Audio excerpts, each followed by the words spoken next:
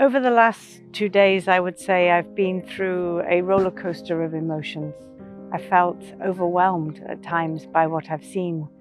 Almost six months later, there are still villages that are cut off. There are still areas that have stagnant water, schools that are half submerged that I've seen for myself. I visited villages where um, people have lost everything. I've stood on the ground that used to be someone's house or used to be someone's cotton field. It's there no more.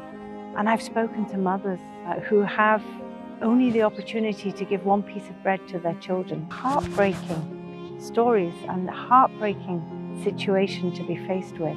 But at the same time, um, I've had moments of absolute pure joy. I met with some of the most vibrant, happy, enthusiastic girls that I that I've met ever seen in my career. They were so keen to be showing me their their exercise books, what they'd been writing, what they'd been learning, um, and they were giggling. They were happy. A third of those girls were coming to school for the first time. That inspired me. The other thing that I have felt coming around with the team is an immense sense of pride for the work um, that UNICEF has been able to support.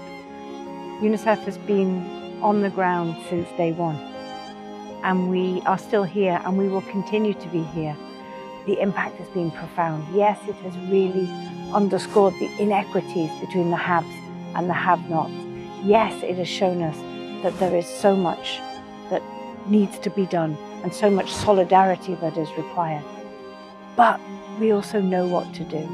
And if we are given the support and the resources, and, and here I appeal to our generous partners to, to keep on giving to the children of Pakistan, then we can do even more for them, both today, next week, and into the future.